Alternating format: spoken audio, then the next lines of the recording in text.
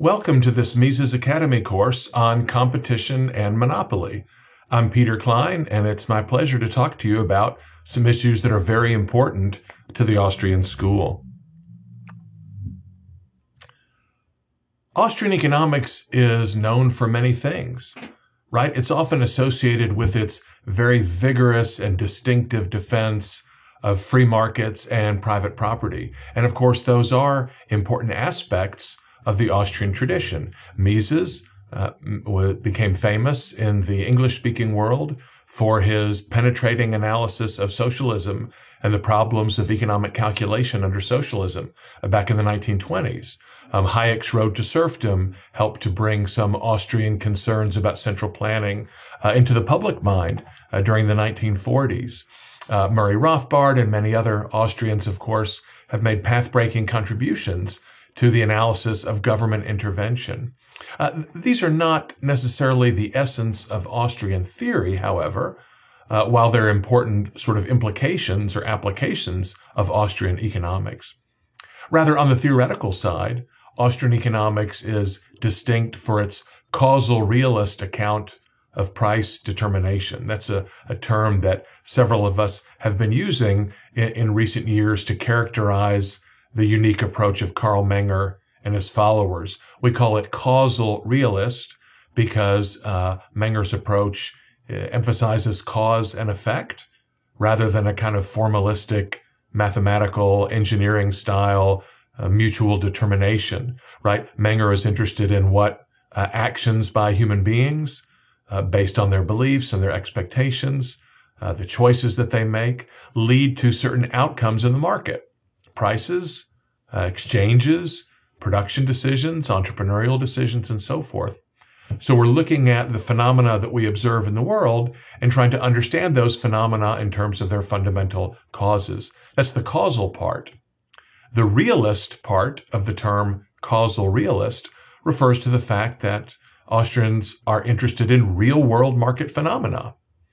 We're not, you know, coming up with stylized hypothetical models of pretend markets that might exist under this or that set of weird circumstances, this or that kind of set of imaginary conditions. No, we're interested in actual real markets that we see every day. You can go down to the corner store and you can, uh, you know, buy a bottle of Coke. Uh, in the U.S., you might pay a dollar or a dollar fifty for that. Why? Why is it a dollar? Why not five cents? Why not five hundred dollars?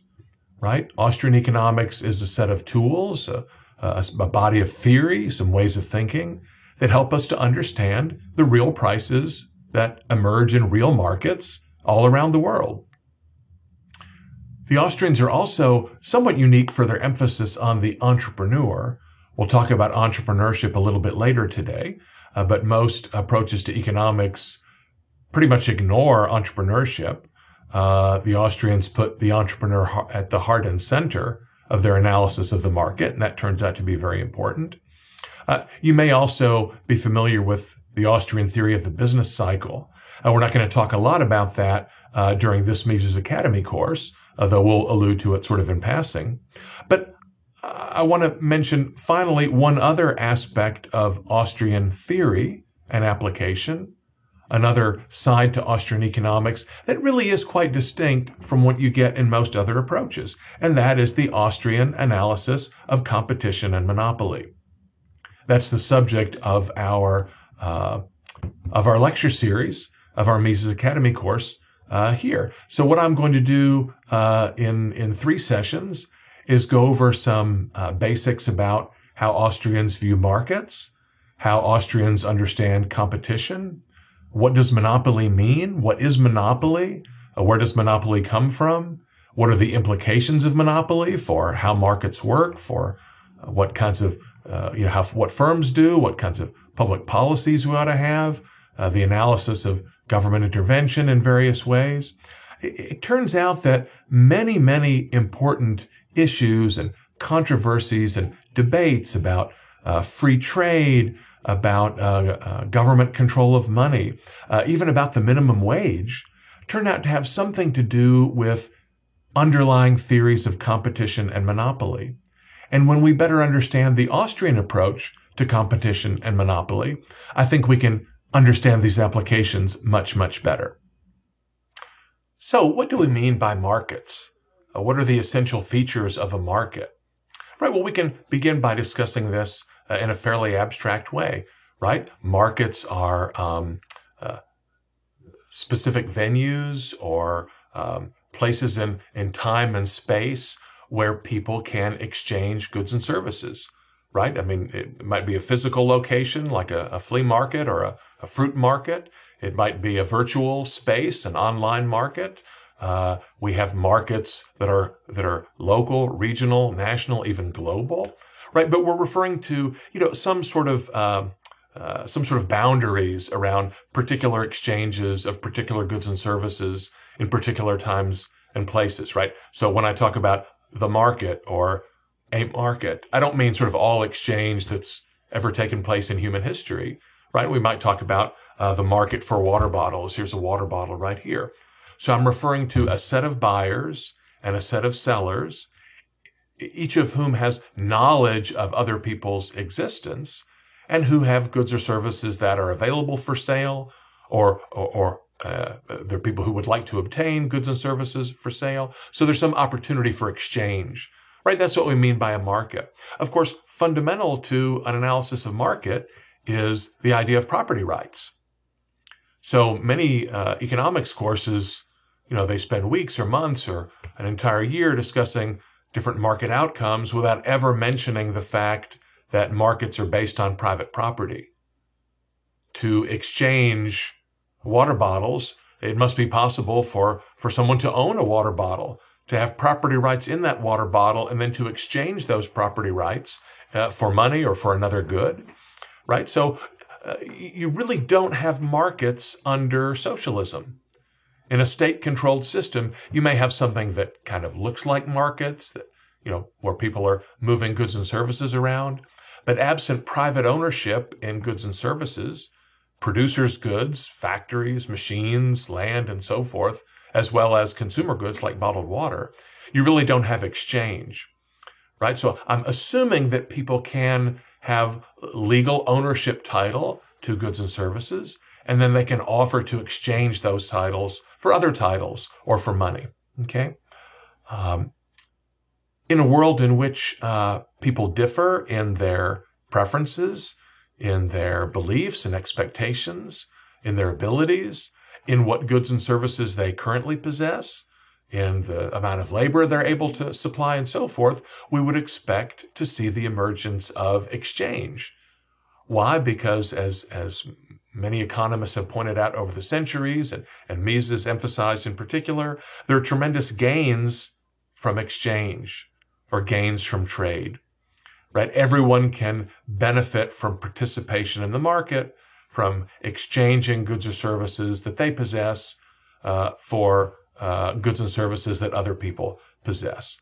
And uh, we can all be better off when we specialize in the production or, uh, uh, or, or in obtaining particular goods and services and then exchanging with other people who specialize in producing or, or obtaining other goods and services uh, what uh, Adam Smith referred to as the division of labor, right? A society with a lot of specialization and a rich division of labor uh, is a is going to be a much more prosperous society than one in which individuals uh, try to be self-sufficient, try to avoid trading with others, and, of course we could talk about uh, applications of the gains from trade and the idea of the division of labor to uh, government policy, you know, tariffs and quotas, uh, other kinds of interference with trade, right? Just as um, uh, we get tremendous welfare gains from allowing people to choose how to specialize and uh, in what to specialize and what exchanges to make or not to make,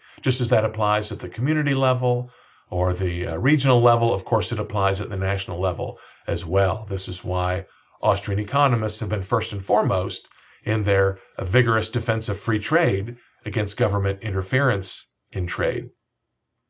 Uh, what David Ricardo called the law of association is what is sometimes described in the modern textbooks as the principle of comparative advantage. right? That's the idea, as Mises emphasized, that everyone has a role to play in the division of labor, even people of very limited abilities or very limited skills or with access only to small amounts of resources themselves, right? It's not the case that we only benefit when highly accomplished people, when highly skilled people can participate in the division of labor. No, as a society, we benefit from all participation in the division of labor, even by or especially by those uh, who have low skills, right? If nothing else, those who have limited abilities and limited resources, they're able are able to free up other actors, other agents from from providing those resources or performing those services, uh, which allows them to specialize in even more valuable activities the production of more valuable goods and services. Uh, Mises uses the example of a skilled surgeon uh, who, uh, despite being able to maintain and clean his tools very quickly and efficiently, still benefits from hiring an assistant who uh, can maintain the tools and, and, and clean the tools, even though the assistant is slower than the surgeon at cleaning the surgical instruments it's still beneficial for these two to get together and exchange because the time the surgeon does not have to spend uh, maintaining and cleaning the surgical equipment is time the surgeon can spend performing surgery, which is the highest valued use of the surgeon's time. There's great discussion by Mises in Human Action and elsewhere on how the principle of comparative advantage or Ricardo's law of association, um, you know, thanks to that, the benefits from trade are you know, vastly greater uh, than we otherwise could have imagined. And as all of you who have studied economics know, uh, you, you, put all this together, we get this, these terrific outcomes that you know the market is not just a sort of inanimate means for performing some mundane exchanges that don't really have much of an impact on society. No, in fact, the market is this fantastic mechanism for coordinating a wide diversity of people and resources and actions and plans and efforts.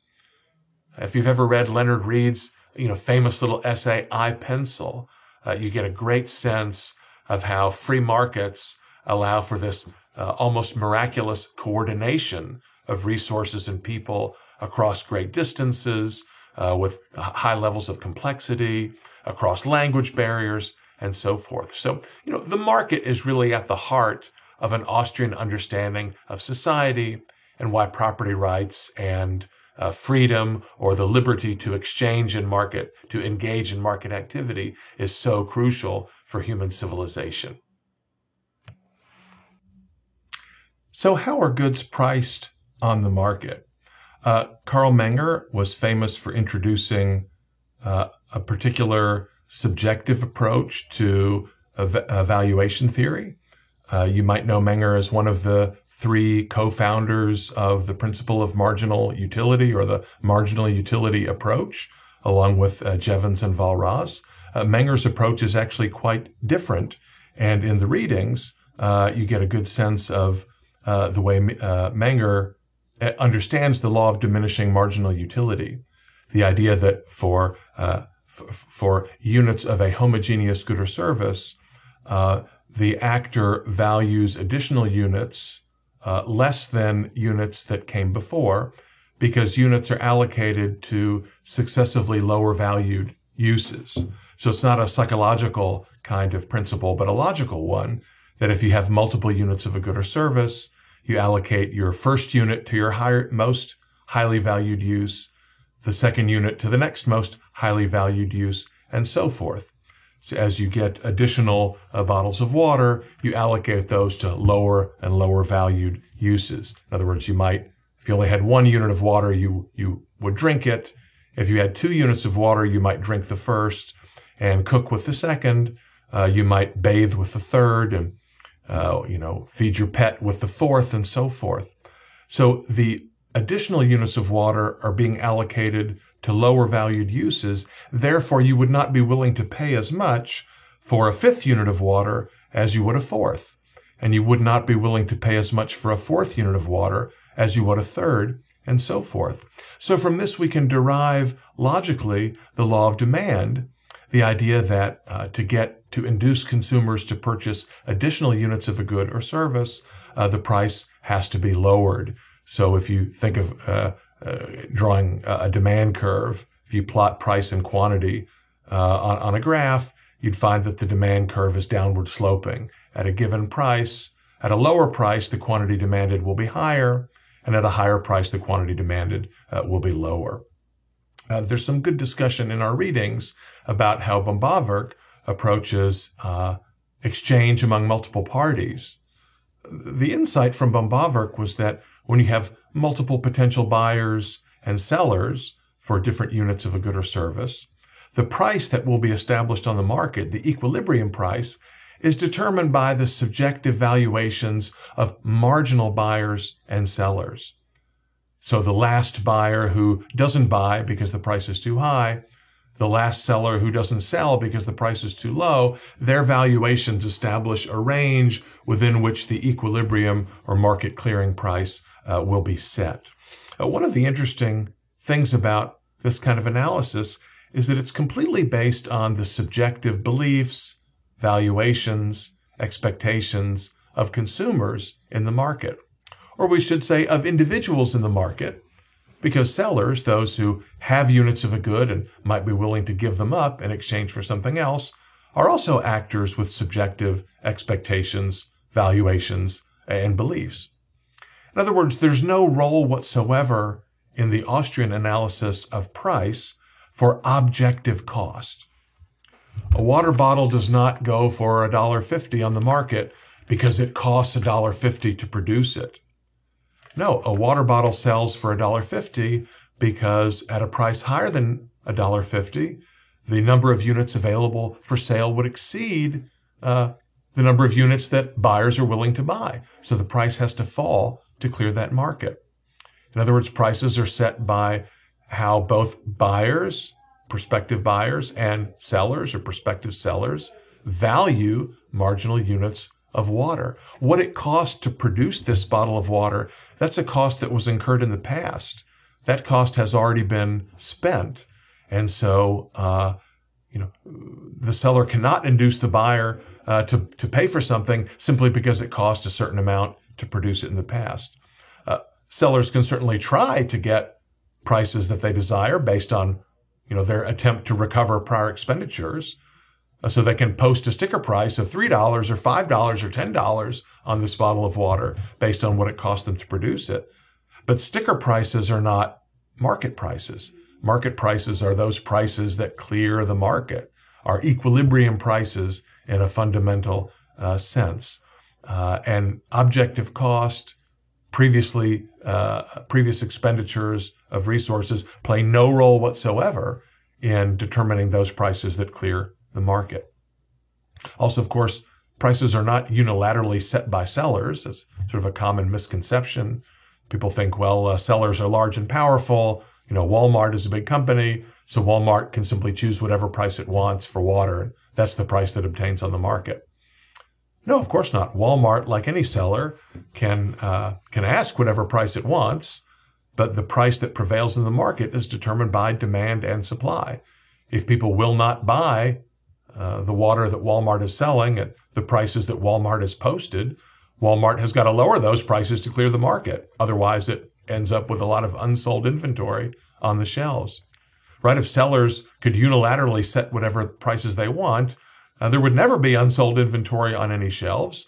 Uh, no stores would ever, no, no sellers would ever lose money. No companies would ever go bankrupt. But of course, that's not the case at all. Uh, Mises liked to use the term consumer sovereignty to emphasize that consumers always have the final say on what they are and are not willing to buy. Uh, I like Rothbard's use of the term individual sovereignty to emphasize that, yeah, the sellers are sovereign too. I mean, no one can compel a seller to sell, just as no one can compel a buyer to buy. All individuals on the market are sovereign, and it's their decisions to participate or not to participate in exchange uh, that determine prices. By the way, notice that uh, You know, there's nothing in uh, analysis or the Austrian analysis of markets and prices that assumes, you know, perfect knowledge or uh, always correct expectations about the future. No, I mean, uh, buyers and sellers act based on what they know about the market. Uh, they can be wrong. They might not realize that there are other sellers around the corner they didn't know about. Uh, they might not know that some buyers might have paid a lower price or been willing to pay a higher price, rather, uh, if only those buyers had been asked. Uh, some sellers might refuse to sell at a particular price on the assumption that they can hold on to those units and sell them tomorrow at an even higher price, but they could be wrong, right? All that determines the price today is what buyers and sellers today believe about what may happen in the future and what present market conditions are. You know, of course, they could be mistaken about that, but they act based on the best knowledge that they have. And that what explains the prices that we actually pay in actual markets. no, there's some some important implications that come out of this very fundamental analysis. Prices allocate resources to their highest valued users and uses. Price controls, you know, government price floors and ceilings lead to misallocations of resources. And more importantly, as we'll see in just a moment, prices provide feedback to entrepreneurs about the accuracy of their forecasts and their prior investment decisions. Note finally that the allocation of resources under market competition, you know, in which these real market prices, real prices are paid, maximizes individual welfare in the only meaningful sense of that term. Right? What does it mean to maximize individual welfare? And there are lots of attempts by neoclassical economists to, to, to state this sort of formally or psychologically. No, all we mean by maximizing individual welfare is that by participating in free markets, individuals uh, are made as well off as they possibly can be in an economic sense, right? Doesn't mean that, uh, you know, markets are lead to some kind of nirvana. It doesn't mean that people don't make mistakes, right? It means that, you know, if we want to understand what makes me better off, we can only observe all we need to do, all we can do is observe my decisions in the market to purchase or not to purchase. As long as I'm free to act in the ways that I think will make me better off, uh, then there's no feasible intervention or institutional change that will in fact do any better than allowing me to do what I believe to be in my own best interest. So free markets maximize consumer welfare in, you know, again, the only sort of scientifically meaningful sense of that term. Uh, just as a footnote, um, uh, Hayek famously uh, described the price mechanism in terms of uh, what he called signals, the idea that prices in the market provide signals to individuals about scarcities and shortages, and that people sort of respond to signals, and therefore we need uh, we need to have free markets because we want these signals to be as informative as possible. I mean, I, I wouldn't say that's wrong, but that's not exactly the way I like to emphasize it. Um, it's true that people do uh, adjust their behavior based on prices they observe in the marketplace. But remember, prices don't come first. Prices are not prior to action. Prices are the result of action, right? So yes, I look at the prices that obtain in other markets as I think about what I want to do. But the prices in those markets arose from the behavior of actors in those markets, right? Prices are the result of human action, not the antecedent to human action. Let's move on from exchange to thinking about production. Right? By production, we mean what Rothbard called the use of man by available elements in, of his environment as indirect means as cooperating factors to arrive eventually at a consumer's good that he can use uh, directly to arrive at his ends. So the idea here is one of transformation, right? The transformation of certain resources into other outputs, other goods and services, right? This transformation takes place through time, through space, and so forth. And there's an emphasis on purposeful human action. In other words, goods and services don't just produce themselves. They are produced as the result of decisions by human beings to transform, you know, uh, uh, metal, uh, iron ore and wood and, and labor and so forth into, uh, you know, in, into steel and into, uh, you know, wooden beams and so forth, which can then be further transformed into building supplies and further transformed into a house. Okay. Uh, one implication of this notion of transformation is that production takes time, right? It's not instant instantaneous, and that we can dis- distinguish between uh, original factors of production like land and labor and intermediate or produced factors of production, capital goods, machines, tools, etc., which then can be further transformed into consumer goods.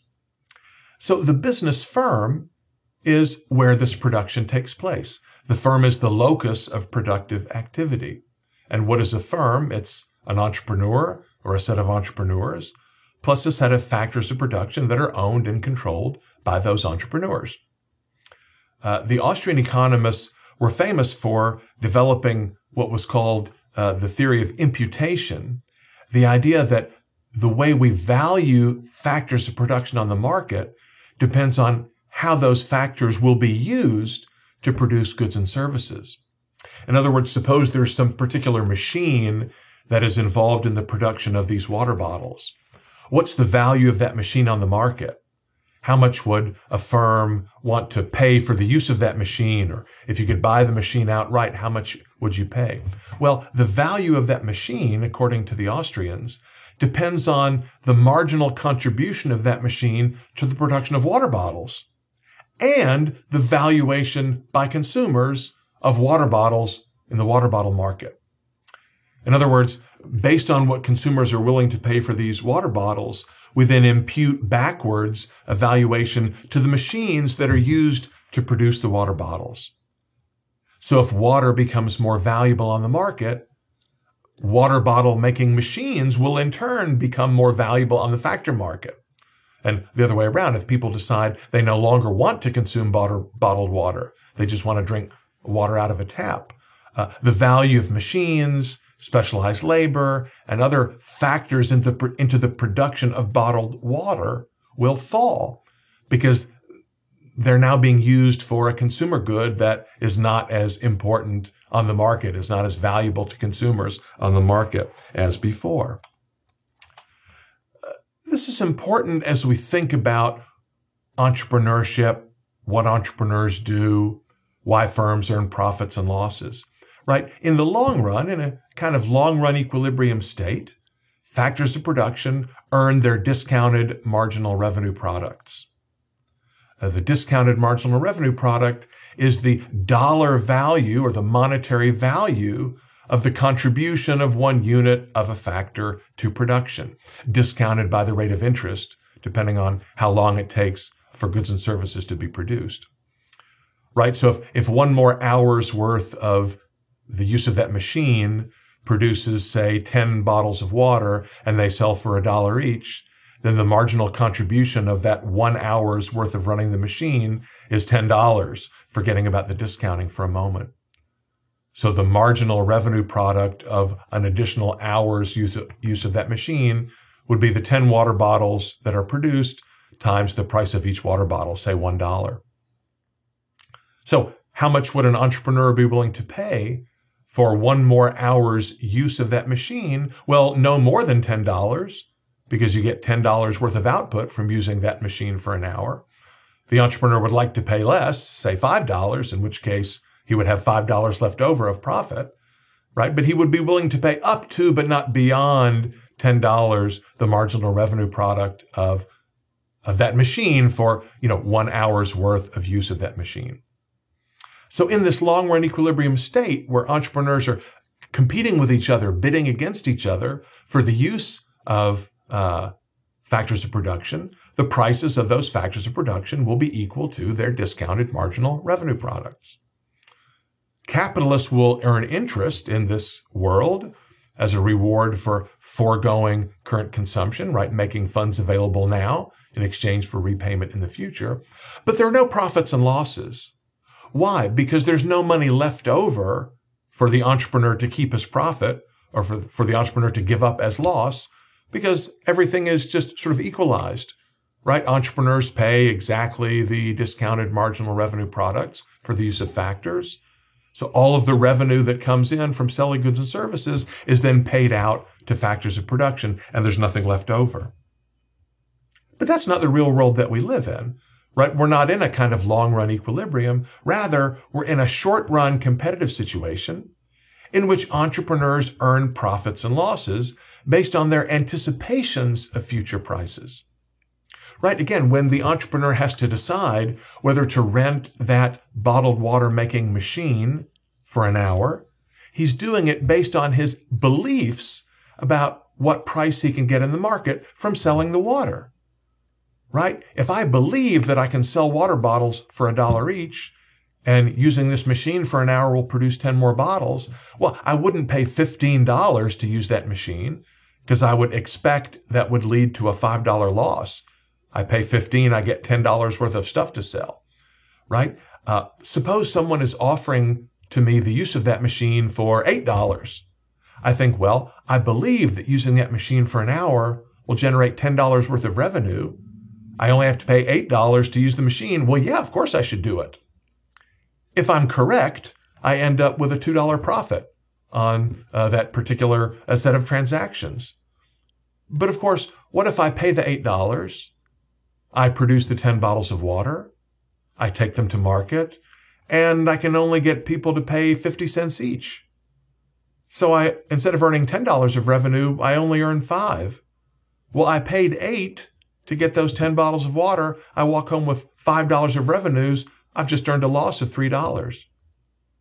Right? So day to day, entrepreneurs earn profits or losses based on how accurate are their expectations, how accurately they can anticipate what the future prices of consumer goods will be. So the unique role of the entrepreneur in a competitive market system is to arrange the factors of production under conditions of uncertainty about the future. That's exactly the way Ludwig von Mises described the entrepreneurial function. Uh, the American economist Frank Knight also articulated a view of the entrepreneur uh, this way. Knight's view is, is much better known than Mises, though Mises, I think, also articulates the same view. In my own work on entrepreneurship, I've also described the entrepreneur's unique role this way, arranging the factors of production under uncertainty. Note this is slightly different from Joseph Schumpeter's notion of entrepreneurship as innovation, and slightly different from Israel Kirzner's notion of entrepreneurship as discovery or alertness. Rather, it implies ownership of resources, of factors of production, and judgment about the future, the ability to anticipate uh, prices and other market conditions in an uncertain future. It may be useful to clarify uh, for a moment what profit is not. So, first, profit is not the same thing as interest, even though they both appear as money income on the firm's income statement right? Because interest is based on time preference. Interest is the reward for foregoing consumption. Whereas profit is the, the result of this wedge between what entrepreneurs pay for inputs and what they receive for selling their outputs.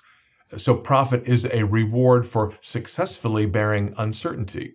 And, you know, as, as, as economists, as theorists, when we look at the firm's income statement, we have to sort of think through ourselves how much of that is really interest, how much of that is actually entrepreneurial uh, profit, because entrepreneurial profit does not appear as its own line on the income statement. That's something we have to sort of infer from analysis and observation. Likewise, profit is not identical to accounting income. Right, or to be more complete, accounting income includes profit, interest, and some piece of what we call the entrepreneur's implicit wage. In other words, some component of that income has to go to the owner, entrepreneur, as compensation for not working as an employee in some other job. What's left over after that, after you take out interest and the entrepreneur's implicit wage, anything that's left is economic profit or economic loss. Right? So we're talking about the economic notion of profit as a, as a functional category, not just a line item. It's also important to remember that profit is not some kind of automatic return to capital, which is what many people uh, seem to think that, well, the way you get profit is you have some capital and, and you invest it and capital generates a percentage return every year, you know, 5% or something. So profit is the 5% automatic return you get from owning capital. I mean, this doesn't make any sense, right? Of course, if by capital you mean financial capital, you mean investable funds, yeah, you can invest those in the bank and earn interest, but that's not the same thing as profit, right? Profit is an amount, not a rate. And profit is the amount that entrepreneurs obtain. It could be positive or negative, profits and losses, right? As they attempt to combine factors of production in different ways to produce valuable consumer goods and services. And as we sort of hinted before in this notion that in pointing out that sellers don't unilaterally set the price, profit is also not just a markup over production cost, right? Profit is the difference between total revenues and total costs. And profits are earned and losses are earned by entrepreneurs according to their success in sort of making wise decisions and how much to pay for factors in the present based on uh, their anticipations of prices they'll receive in the future. Okay, so all of this is sort of background towards thinking about competition. So what then is competition? Right? What do we mean to say a market is competitive? Well, competition in the ordinary language sense means rivalry, right? You know, like uh, runners competing in a race. Whoever is the fastest runner wins the prize, right? Notice you don't have to have 10 runners or a thousand runners or a million runners for a race to be competitive. With just two runners, a race can be competitive, right? Or maybe only one person is on the track, but other people could potentially join the race. There's a competitive aspect to that as well. So competition refers to, uh, you know, rivalry or where some outcome is contested, where multiple actors are trying to achieve some particular goal. They compete against each other useful way to think about competition then is freedom, right? A market is competitive if anyone is free to enter that market and give it a shot, right? As long as anyone is legally, or as long as no one is legally prohibited from trying to produce bottled water, trying to sell bottled water, you know, offering to my customers a price that's lower than what I'm giving them or, or trying to, to, to bid away uh, uh, water bottles from, from other buyers, right? Then that market is competitive. As long as people are free to engage in buying and selling, to engage in production and entrepreneurship without governmental interference, then we say that market is competitive, right? Notice, of course, that we're not saying that everyone can compete, right? You know, I, am if I happen to see uh, Usain Bolt walking down the street, I can certainly challenge him to a hundred yard dash. I probably would not be very smart in doing so, right? So we would say I competed against him in this race. I'm guessing that I would get absolutely destroyed uh, by Usain Bolt, right? So when we say a market is competitive, we don't mean that every player, eh, you know, every competitor in the market has an equal shot of being successful, right? We don't say every firm can earn a profit. No, of course not. Competition refers to, you know, the, the uh, ability to try to buy and sell. It doesn't say anything about how successful any particular buyer or seller could be. So you might have a market in which only one firm is profitable, and there are lots of other firms in the market that are trying but are not profitable. Is that market competitive? Absolutely. Of course it is. As long as these, these other firms are free to enter the market and to try to compete with the dominant firm, then that market is competitive. Okay. You don't need equal outcomes to have competition. So what then is monopoly? Well, I mean, traditionally in, certainly in the Anglo-American common law sense, monopoly is the term that goes with a government license or a government grant that gives the license holder the exclusive legal privilege of producing a particular good and service, right? If, if, if I were the, um, you know, exclusive supplier of bottled water to some town because I got a royal charter or a royal license, said, you know, if anybody else want, tries to supply bottled water in that town, they'll have their head chopped off. Then I have a monopoly, right? So monopoly is not based on market share. It's not based on my profitability relative to other firms, right? Monopoly obtains in this sense only when there are legal restrictions on entry. We'll talk a little bit more in uh, the next session about uh, how we can make this characterization a little bit richer and what are some other ways that different Austrian economists have tried to characterize monopoly and monopoly price. But I just want to note for the outset that you know what we're talking about here has absolutely nothing to do with what a lot of economics textbooks call perfect competition. So many of the textbooks distinguish between perfect and imperfect competition, but this is something entirely different from competition in a causal realist sense. So-called perfect competition and imperfect competition are imaginary constructions. They're abstract theoretical concepts. They, you know, they don't exist in reality. There's no such thing as a perfect, perfectly competitive market or even an imperfectly competitive market in the real world. Now, Austrians are not opposed to the use of imaginary constructions, but imaginary constructions have to be useful, and these two are not, right? These are not useful constructs. What the economics textbooks mean, what neoclassical theorists mean by a perfectly competitive market is a market that's characterized in a particular way. So, so mainstream economists will say, well, for any given market, you know, the market for water or the market for shoes or beef or whatever, we want to look at the type of product. Are all the products in the market homogeneous, perfect substitutes, or are they differentiated? Is there some unique product that's in the market? Uh, what are the numbers and sizes of buyers and sellers? What are the entry and exit conditions, including non-legal, you know, constraints on entry and exit? What are the conditions of information? Is information perfect or not? And based on that, we will classify the market as being in one, uh, as falling into one of these categories. It's either perfectly competitive, or it exhibits monopolistic competition, or oligopoly, or monopoly. Uh, this is a very different way of categorizing markets than the way Austrians understand things. Right? Again, for an Austrian economist, a market is competitive as long as there are no legal restrictions on entry or exit.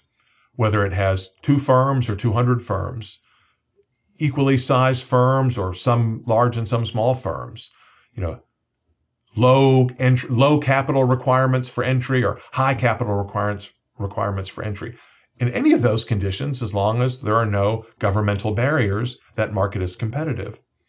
But mainstream economists want to characterize each market according to this sort of finer set of distinctions. So uh, many of you have studied this in school. The mainstream understanding of markets starts with the analysis of the so-called perfectly competitive firm, right? So the perfectly competitive firm exists, is a firm that is so small relative to other firms in the market. It's, I mean, literally, this firm is in, infinitely small. It produces zero output, right? Uh, so you have a perfectly competitive market is one with an infinite number of infinitely tiny firms. So if you sum up the production of all these firms, it adds up to the total quantity that's produced in the market. But because each firm is infinitesimally small, in the limit, each firm produces zero output. It's kind of a weird I mean, go figure, right? But the idea is that, you know, if the market for water bottles were perfectly competitive, yeah, there'd still be water bottles being bought and sold, but each producer would be so small that it has no impact on market outcomes whatsoever. Uh, the idea is that the demand curve facing an individual seller of water is perfectly horizontal, is, is horizontal or perfectly elastic. Uh, as they call it, meaning that each supplier is so small, he can supply as many units or as few units as he wants without having any impact whatsoever on the market price.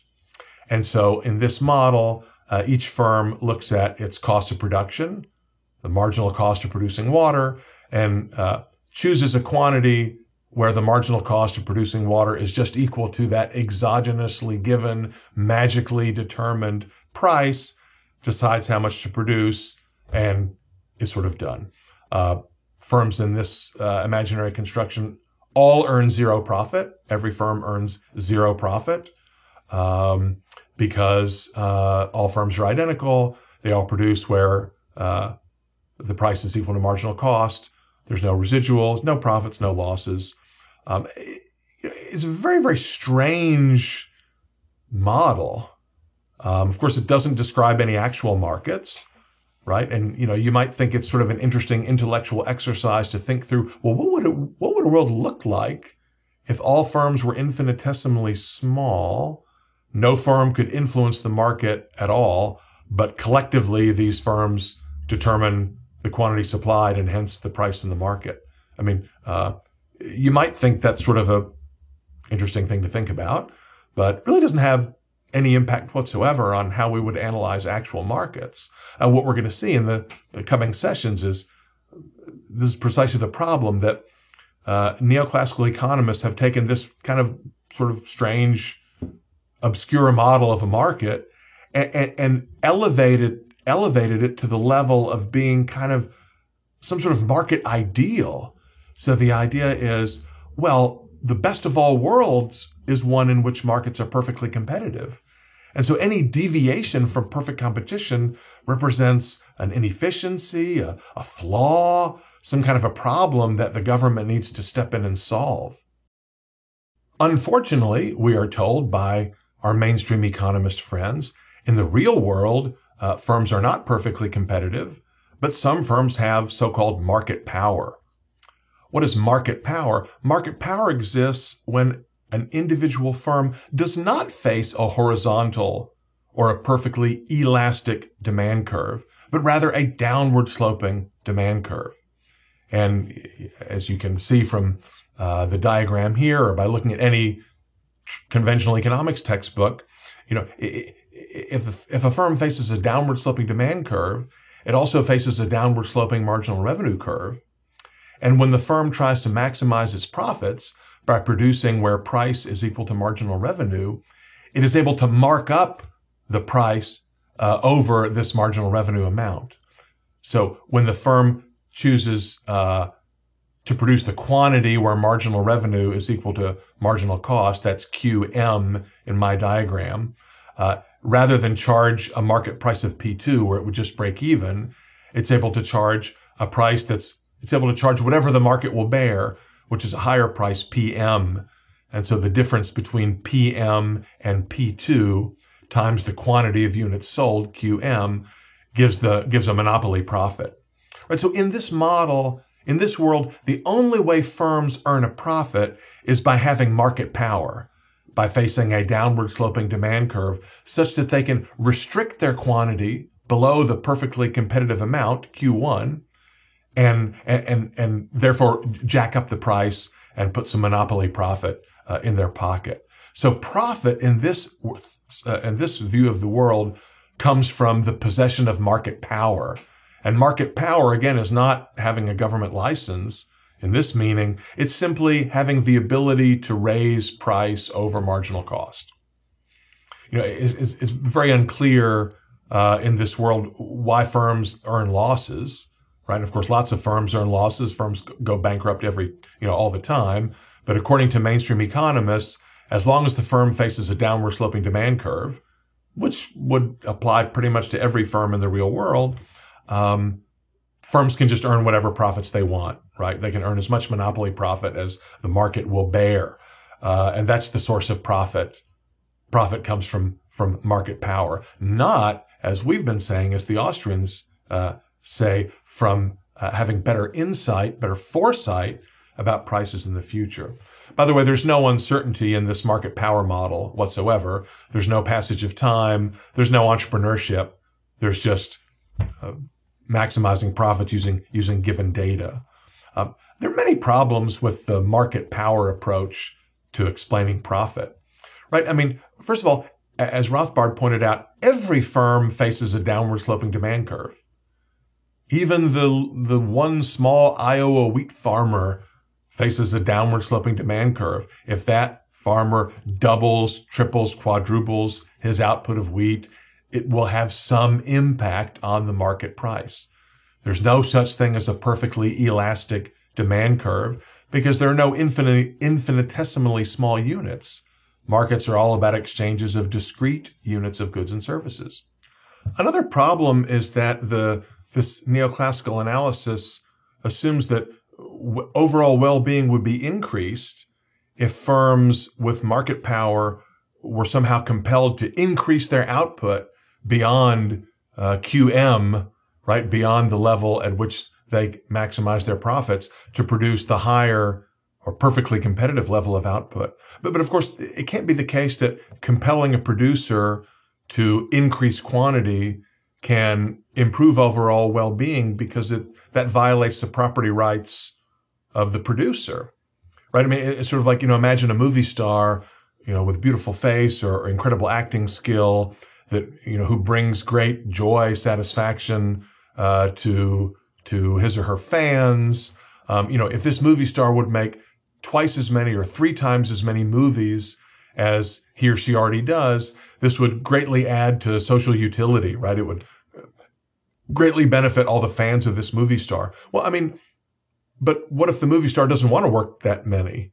Doesn't want to make that many movies. The movie star wants to enjoy time with family or consume some leisure or enjoy hobbies or whatever. I mean, you know, it would be obvious to all of us that if we were to go to some famous movie star and kidnap that person and drag that person in front of the camera and force the movie star at gunpoint to make even more movies than the movie star is currently making, that this would be a violation of the movie star's rights. And that, yeah, maybe, maybe some fans would be delighted to have more, you know, have more screen time for their, their favorite star. But this would obviously be greatly harmful to the movie star. But yet people think, well, uh, you know, the company that's making these water bottles is producing a thousand of them per week, but that's, that's because they have market power. If they produce 1200 per week, that would increase overall, you know, social well-being. Well, I mean, that's crazy. It's the same thing. You'd be then compelling the producer to produce more than what the producer wants. In other words, there's no magical, perfectly competitive quantity that's sort of the right quantity such that some other quantity, the so-called monopolized quantity is wrong, right? I mean, the quantities that firms produce, the quantities that are exchanged on the market based on the free and voluntary interactions of buyers and sellers, that those are the optimal quantities. We can't say that more is better or that less is better. Um, the other thing too is that, uh, you know, there's nothing wrong with having a downward sloping demand curve there's absolutely nothing, you know, inefficient or unjust about the demand for some particular firm's product being, you know, say fairly inelastic from having a steep demand curve, right? I mean, people's willingness to to substitute other goods and services is based on their own preferences, their own beliefs, their own expectations, their own desires, right? So, in other words, suppose it's the case that uh, you know this is a very unique brand there's something about this water that makes it really special. And, you know, consumers only want this brand. They're, they're not satisfied with any competing brand. Therefore, mainstream economists say the seller of these water bottles has a lot of market power and can jack up the price and take advantage of the consumer. Well, I mean, if the consumers are willing to pay more because they strongly prefer this brand, well, that's their right. And of course, consumers are free to choose to prefer some other brand right? So, you know, how steeply sloped is the demand for a particular demand curve for a particular firm's product? How elastic or inelastic is the demand for a particular firm's product? That's totally based on the voluntary preferences and choices of consumers. Okay. Uh, another point is that uh, even if a seller, even there's only if there's only one seller in the market at the moment, that doesn't mean the market is not competitive right? Sellers are constrained by potential competition as well as by actual competition, right? I might at present be the only seller of bottled water, but I can't just choose, you know, any arbitrary price that I want. If I charge a super, if I try to charge a super high price, well, either people won't buy or they'll buy and sort of grumble about it. But then other firms will see that I'm able to get these high prices And they'll then enter the bottled water business as well. And they'll, they'll try to bid away from me the use of the machines and the labor and so forth. And they'll then bring bottle, bottles of water to market and try to get my customers to buy from them instead. Right. So even if my, even if competitors are not currently doing that, the fact that they could do it, the fact that they're capable of doing that limits or constrains uh, what I can do. Okay. So just to summarize for uh, this session, markets depend on private property and economic freedom. A free market is one in which buyers and sellers, investors, entrepreneurs, lenders, and so forth are free to interact on a voluntary basis under whatever terms and conditions uh, they uh, they choose. Right under those conditions, the market is competitive. Competition means nothing other than that. Competition refers to the freedom to act, the freedom to buy or sell, the freedom to invest, to produce, to transform inputs into outputs. And of course, in any market in which those conditions obtain, and of course they obtain to a greater or lesser extent in all real, real world markets, depending on how much the government intervenes, to the extent that those conditions are present, those markets are competitive.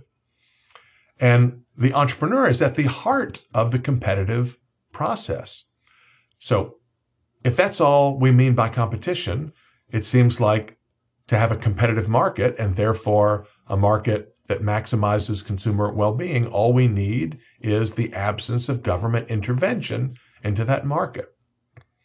Now, as we'll see in the next session, there's lots of literature by economists going back for many years challenging this common sense notion of competition and claiming that, well, no, competition requires something else, like the perfectly, like the model of perfect competition we just saw. And that, uh, because markets don't meet some sort of arbitrary conditions, the government has to step in and, and try to fix them. So we'll review and critique some of these alternative understandings of monopoly in the next session, and then we'll conclude with a session on some applications.